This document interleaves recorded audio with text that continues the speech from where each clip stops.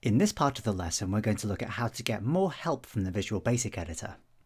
We don't need any particular files for this session, so let's just start with a brand new blank workbook. We can then head to the Visual Basic Editor, insert a module into the project, and we'll begin a new subroutine called Getting Help. Let's say, for example, that we wanted to find some more help on the border around method that we encountered a couple of lessons ago. Let's start by referring to the active cell and then look for the border around method and then we can type in a space to see the tooltip that describes the parameters that the border around method has. Now although the parameters are listed out in the order that they exist and we can see what their names are and we also get a little tiny indication of what types of things we can provide for some of those parameters such as the weight parameter here, we're not given as much information as we could have.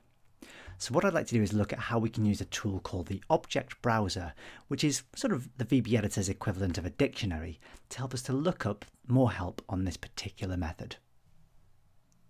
You can open the Object Browser either by pressing the F2 key on the keyboard or by heading up to the View menu and choosing Object Browser.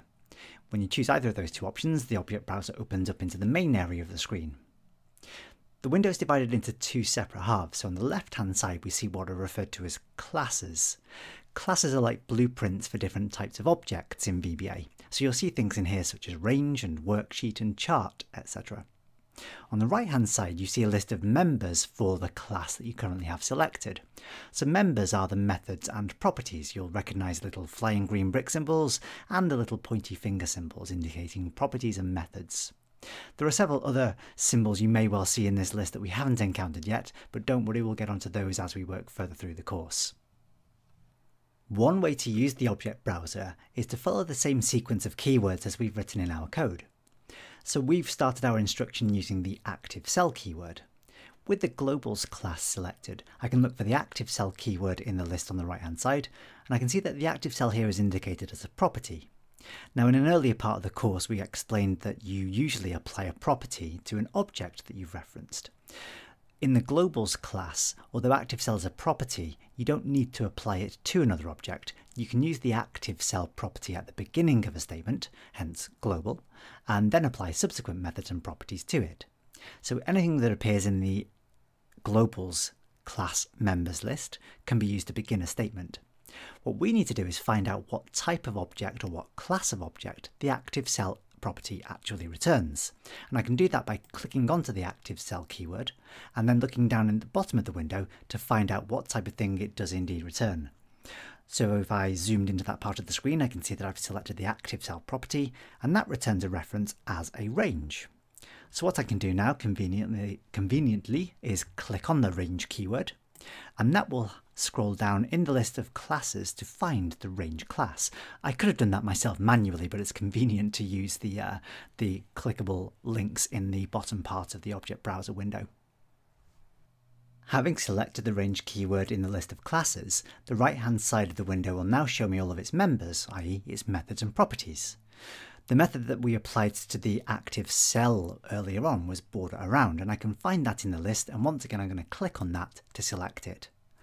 Now I'll find that the bottom part of the window shows me essentially the same information that we can see in the tooltip that appears when you type the border around method into your code. What I want to do is get some more help beyond what is shown here. So to do that, what I'm going to do is right click on the border around keyword and then find the help option in the menu and select that. Now, what this will do is launch your default web browser and attempt to navigate to a page for the particular method or property or object or collection that you've just right clicked on. So in this case, of course, it's the border around method that's applying to a range object. Every single method, property, object, collection, and other type of keyword has its own dedicated help page like this on the Microsoft website. Although there's quite a lot of information here, the layout of these pages is fairly consistent. It always begins after, of course, telling you what method or property or, or type of thing you're looking at. It explains what that particular property or method does. There's then a little section that shows you the syntax of that keyword, so where it fits into a statement that you can write in VBA. When there are parameters, it will list out all the parameters and show you whether they're compulsory or optional, what their types are, and this often provides us with useful information, extra useful things we can click on. So for example, if I want to know what line styles are available, there's a preset list of these. If I click on the Excel line style link, that will take me to another page that shows me what the valid options are. Clicking the back button in my browser returns me to the original help page, and scrolling down a little further will take me to a section called Remarks. This is often the most useful part of the page because it explains things you should watch out for when using this particular keyword. So for example, if I zoom in on this section, you can see that two of the arguments or two of the parameters of this method are mutually exclusive. I can either specify a line style or a weight, but not both. A little further down the page, there's a little example which you can happily just copy and paste into your own code and then make changes to to get the results you want. Once I'm happy with the, the information I found, I can close down the browser to return to my VB editor. Then I'm going to close down the object browser window to return to my module. So now that I've found out all the help about this border around method, I can continue writing the code with a little bit more confidence. So let's say I want to set the line style to an XL dash. I've seen on the page that that's a valid option for that particular parameter. And then if I type in the color property, I'm going to set that to be equal to RGB green. So color colon equals RGB green. If you think that using the object browser is a little bit long-winded for getting help, there is a slightly quicker way you can do it as well.